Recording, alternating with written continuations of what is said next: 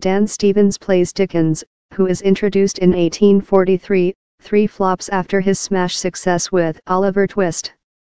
Living beyond his means, with a patient wife, Morfydd Clark, house full of kids, and desperate need for income, he's under self-imposed pressure to conjure another hit.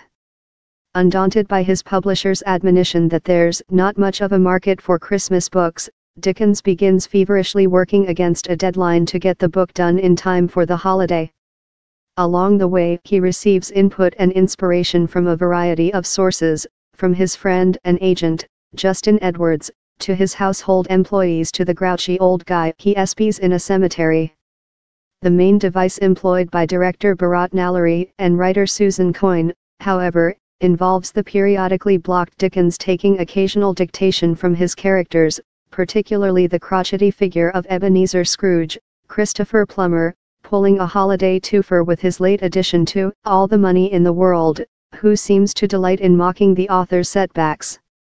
All's well that ends well, obviously, so it's hard to muster too much suspense about Dickens' struggles.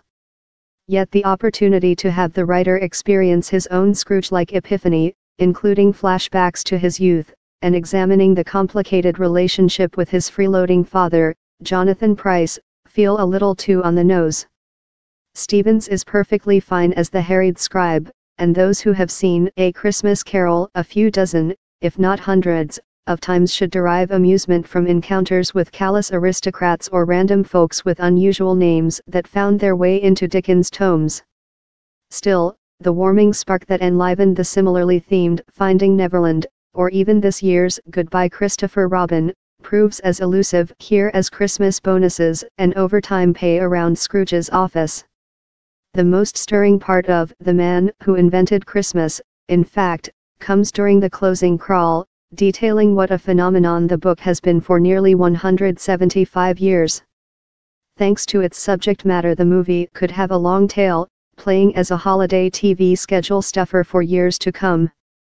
Yet at the risk of sounding as hard-hearted as you know who, this Yule log could have easily skipped the theatrical stopover and, as a shrewd businessman like Ebenezer might counsel, taken the middleman out of the deal.